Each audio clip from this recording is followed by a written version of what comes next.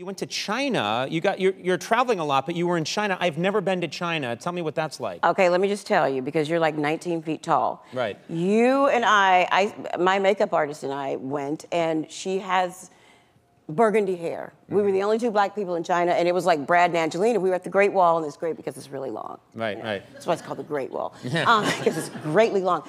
And I'm not kidding. People were just the double takes, walk, bumping into each other, like it was like a domino effect. I said, you know, Val, I've seen enough of the Great Wall. If we keep going, people are going to die. Yeah. So let's just stop right here. They were that freaked out. They, they, they weren't freaked out. They're the nicest people, but it was literally like, and they're still walking and then bumping into the next person. It's like this is amazing. It was There's a lot of hilarious. them. There was yeah. it, was, it was amazing. It was hilarious. so they just weren't. So that you're not seeing a lot. There's not a lot of black people walking around in China. Is what you're saying?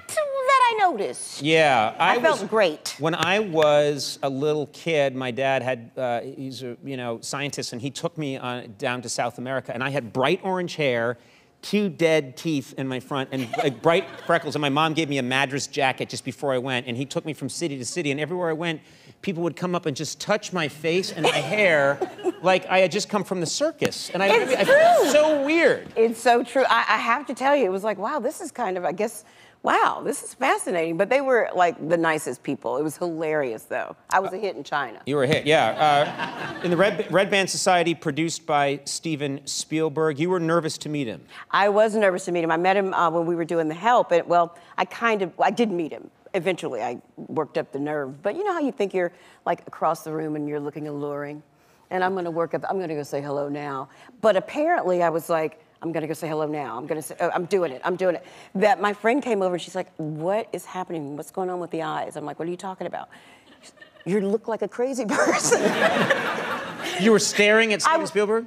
I'm gonna, I'm, I'm doing it. I'm gonna go say hello right. I'm work. I'm doing it. I'm going right now, right now. And, and Yeah, that looks almost like you're going to attack him. Exactly. That's the vibe you're putting out. I kind of did. I kind of, you know, grabbed him in a bear hug because you think you know people because they've, you know, been You in your. grabbed him? I did. I was like, "Hello, how are you? I love you so much. Oh God, I did it." Yeah. Did you, were you- did you act that way? Because I know when you first met Oprah, I've heard that you were very excited. What did you do to Oprah? I just I get real excited. I uh, I did the same thing, and of course I sweat profusely because I'm I'm a nervous wreck. And Oprah has that calming voice, and she was terrified, but it was, "How are you? We are okay. We're great." It's so nice to me, and I'm like, "Oh my God, I'm terrifying Oprah. You got to calm it down. Calm it down. Bring it down, Spencer. Bring it down." She has that, she thinks she can calm, like if she was in a wolf attack, she would just start talking to the wolves.